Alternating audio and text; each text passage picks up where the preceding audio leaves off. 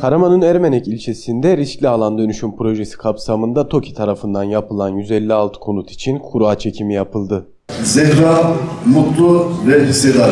Kura çekim töreninde konuşan Karaman valisi Tuncay Akkoyun, 6 Şubat'ta meydana gelen depremde TOKİ evlerinde can kaybı yaşanmadığını ifade ederek TOKİ'nin bu imtihanı başarıyla geçtiğine dikkat çekti. Hamdolsun TOKİ'miz tarafından yapılan hiçbir binada herhangi bir yıkıntı veyahut herhangi bir can kaybı yaşanmamıştır.